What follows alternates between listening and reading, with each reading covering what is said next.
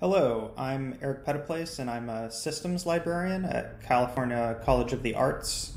Um, and I'm here to talk to you about a command line interface to openEQUELLA, which I've created.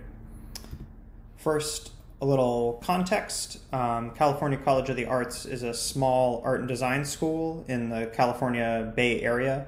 We are located on the unceded territories of the Chochenyo and Ramaytush Ohlone peoples. We're longtime EQUELLA users, um, and our instance contains over 75,000 items representing everything from student artworks to syllabi to archival document. Um, the tool that I'm going to talk about is called EQUELLA CLI, or EQ for short, um, and it's a set of command line shortcuts to the openEQUELLA REST APIs. I wrote it in Node.js, so it's written in, in JavaScript um, and it basically just wraps um, HTTP requests to the REST APIs. You can install it using Node's package manager, npm. So you would npm install, and then you want it uh, global, so it's accessible on your path of your command line. And then you configure a EQUELLA RC file, um, which you can put in your user's home directory or in particular project directories.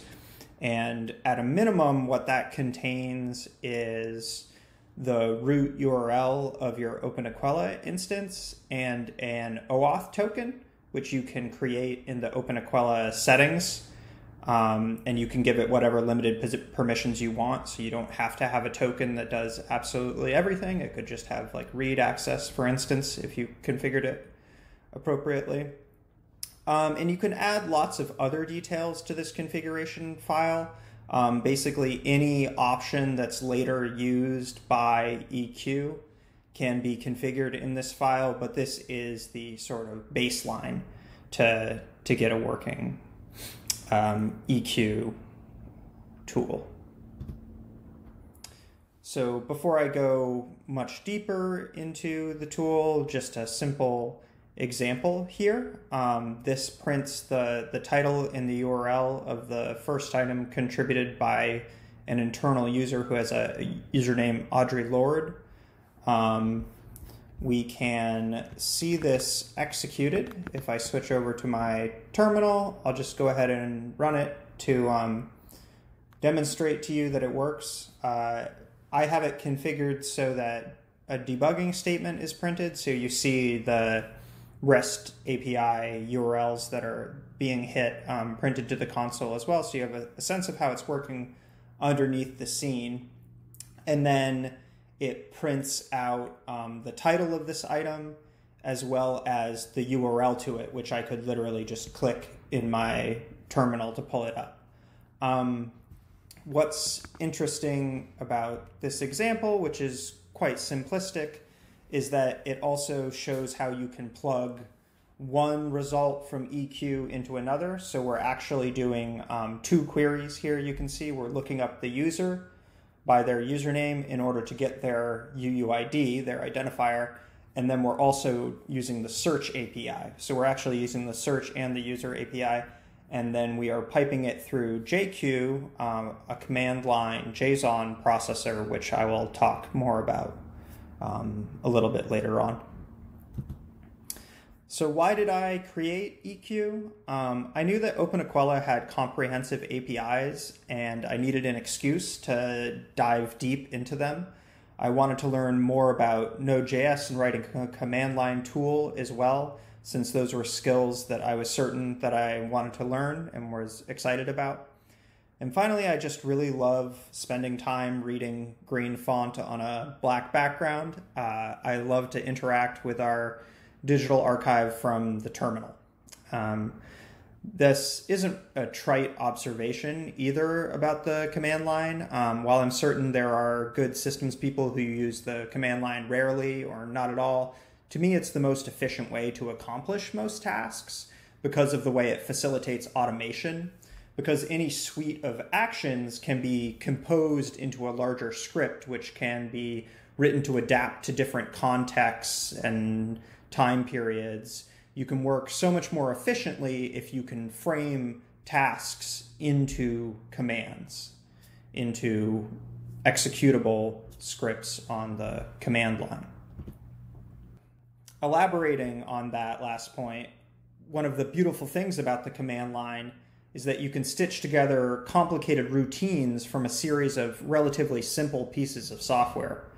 Um, EQ is a good example of a relatively simple piece of software, as all it fundamentally does is just abstract over the openEQUELLA REST APIs. It's it's quite simple, um, and it pretty prints the JSON that you receive back. It's nothing more than a sort of syntactic sugar on top of some of the API routes.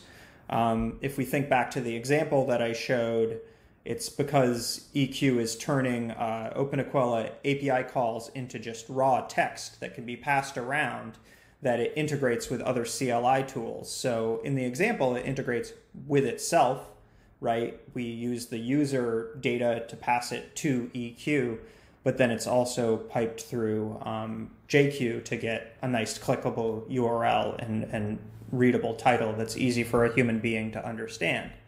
Um, this sort of composability is the power of the command line and more broadly the Unix philosophy of computing. Um, the command line is littered with wonderful tools that adhere to another component of the Unix philosophy do one thing and do it well. That's the goal of EQ is to be a proxy for the openEQUELLA APIs and make that text output pluggable into other programs. The openEQUELLA APIs are really strong. There's an API route for almost anything, and you can perform a great number of tasks easily through the APIs. It's notable that there are already a few major tools that use the openEQUELLA APIs. Um, I think these actually use the SOAP and not REST APIs, um, but here at CCA we make extensive use of the, the Python SOAP API toolkit to create taxonomies. Um, you can feed CSVs into the tool and it creates taxonomies, which is really easy, right? Because a lot of data comes in a CSV like format or can be mapped to CSV easily. Um, and then also another good example is EBI, the EQUELLA bulk importer app. Uh, and that is another thing that makes use of like CSV like data where you can basically take spreadsheet data and create many items. So it's a great bulk import tool that also uses the, the APIs.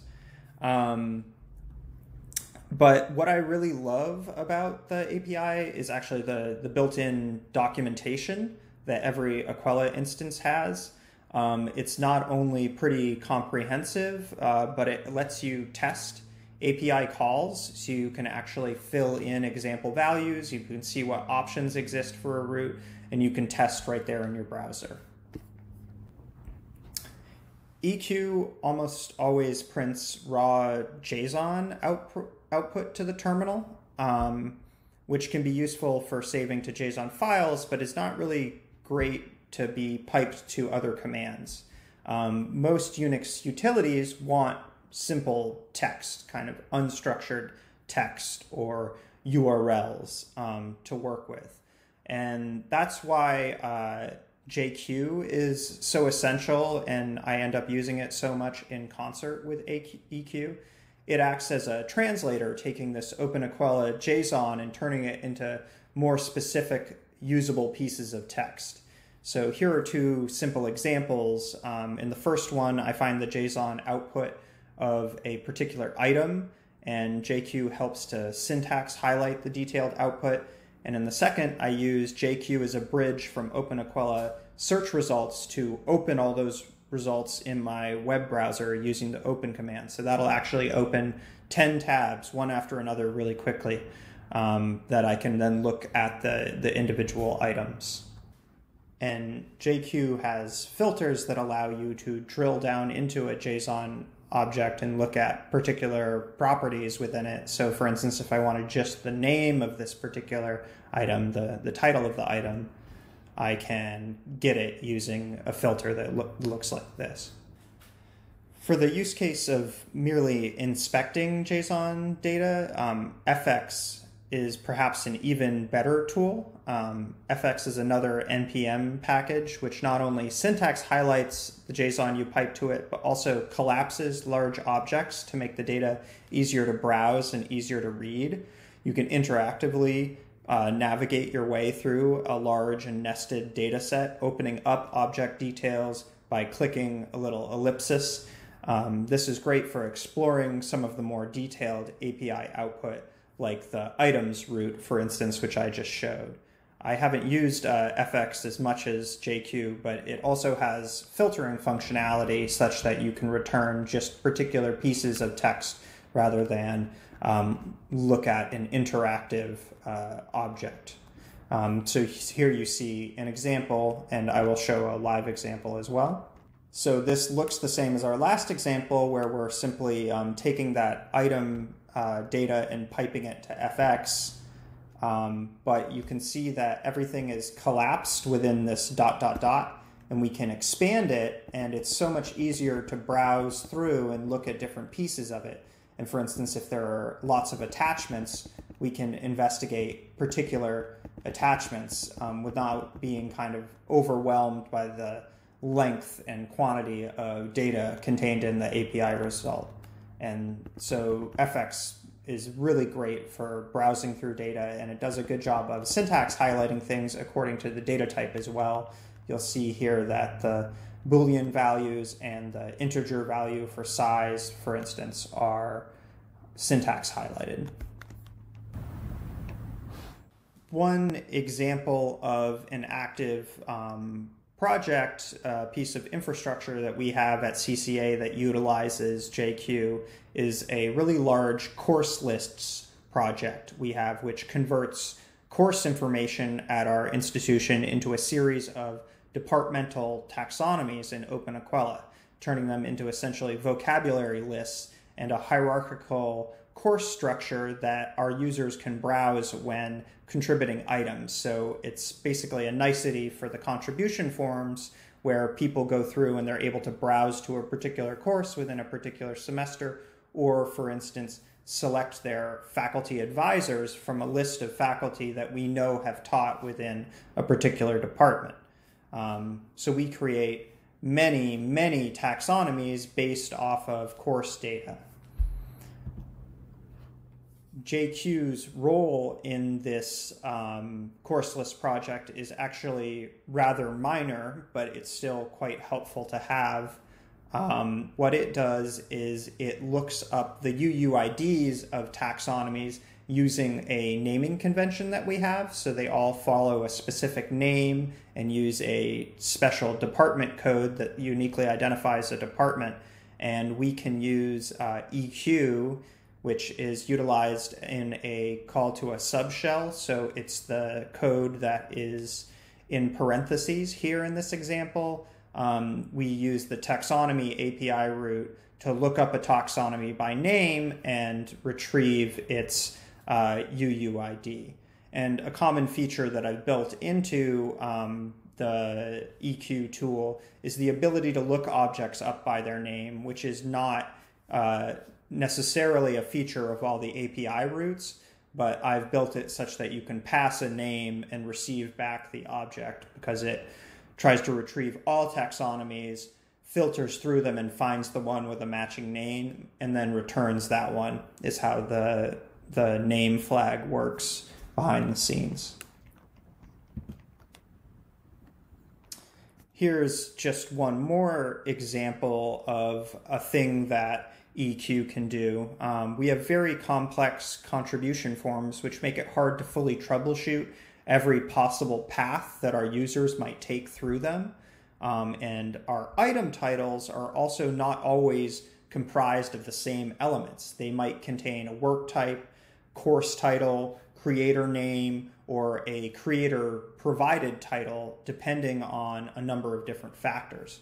So sometimes someone will make it through a contribution form, and yet the title will be undefined in the end just because of a flaw in, in a, how we've structured these complex forms. Um, and then that looks really awkward in openEQUELLA because openEQUELLA sets the item's title to be its UUID, which is this very long, complex looking string that confuses our users.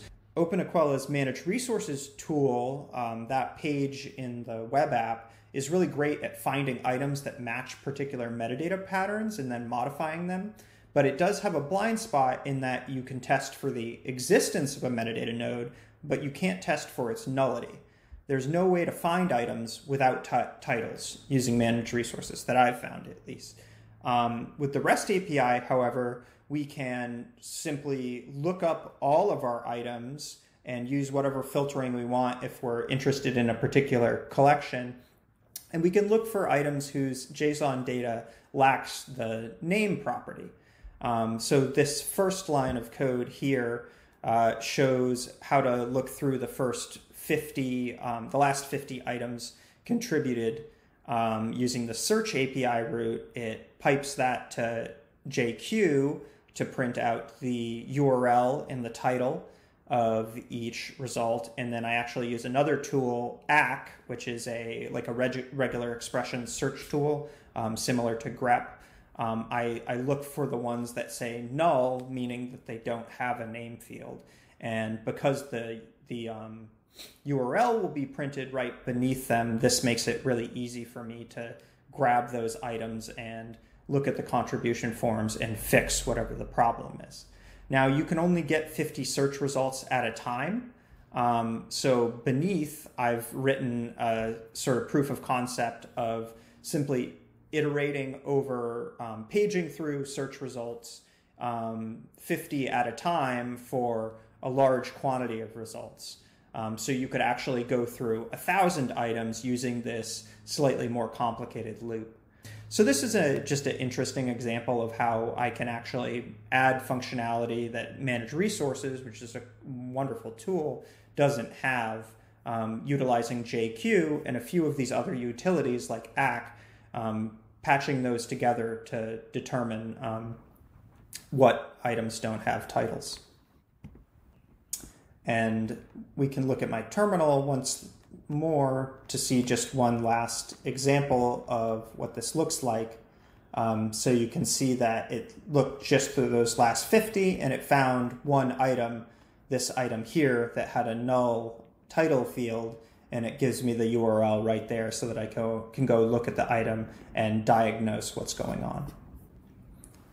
I've also written in several handy shortcuts that don't have to do with the REST APIs into the EQ tool. So you can run EQ launch to open the new admin console. It'll actually copy your password to your clipboard as well if your password is in your EQUELLA RC file.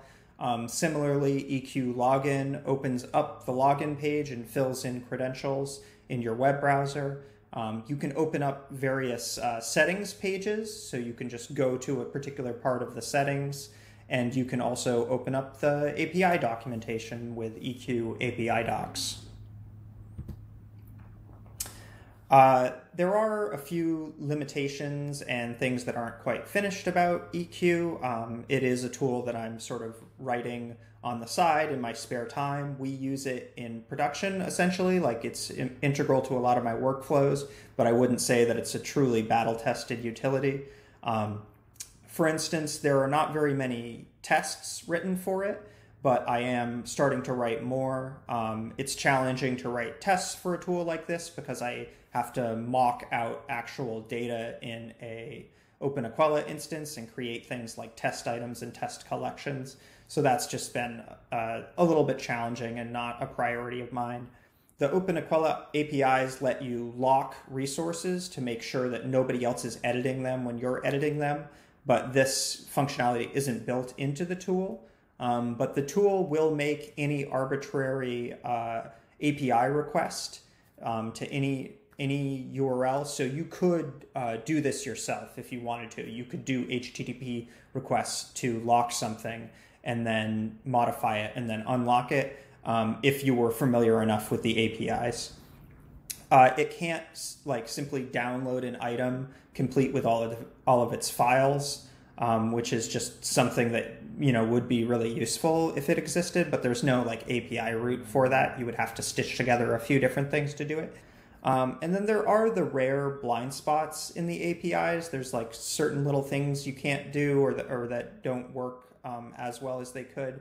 But to be honest, there's many more blind spots in EQ because the APIs are huge and touch on a whole lot of openEQUELLA functionality, including functionality that we at CCA don't use.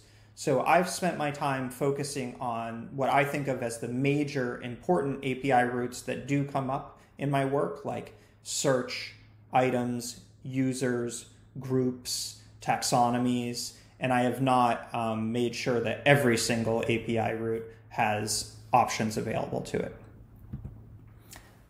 That concludes my presentation. Thank you very much for having me at Open Apereo. I'm really happy to talk about this tool. Um, I'm excited for any feedback that people have. Here are a few links um, for the presentation, and I can be reached at phette23 on most platforms um, if you want to follow up with me.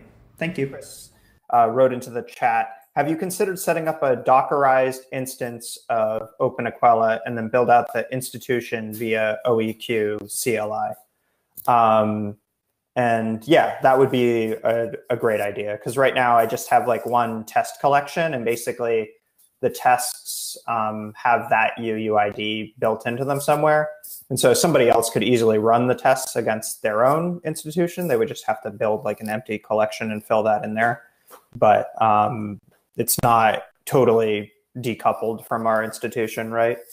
Um, but yeah, that that would be a, a, really good solution. And then I've um, I've just been playing with uh, you know doing actual REST API calls during testing is like already a little bit of uh, complexity overhead, um, uh, a little bit sophisticated, but I have managed to do successful ones for some some basic things. So just don't have a lot of time to build everything as as robust as it could be.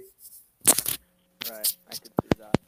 The um, it's a really neat tool, and I like how you've uh, developed it so you can just install it via npm. Right, there's nothing difficult about that.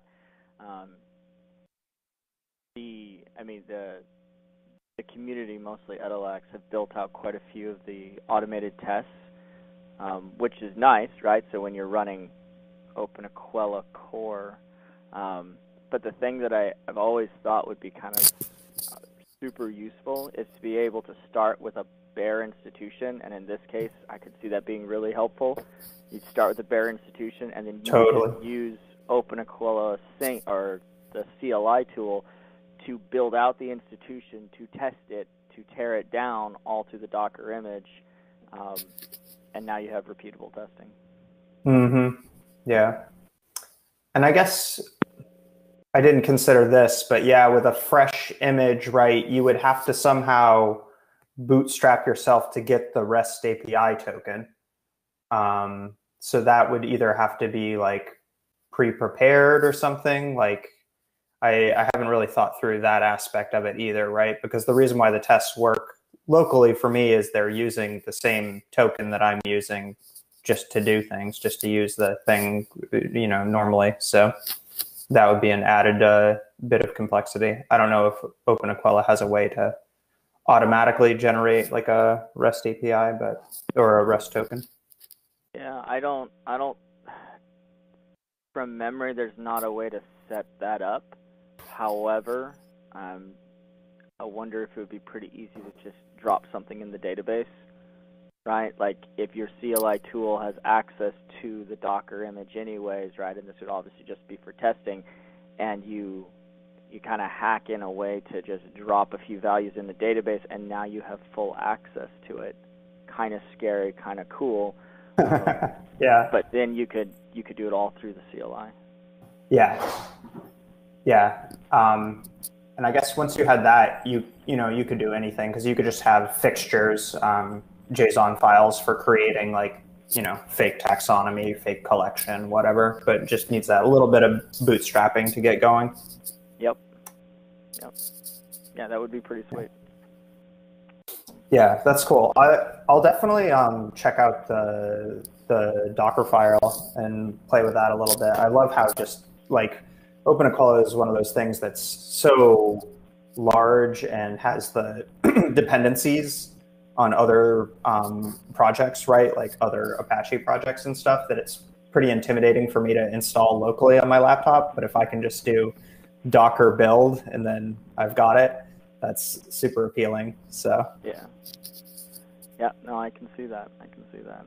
This also gives just a great story to using openEQUELLA as a headless CMS.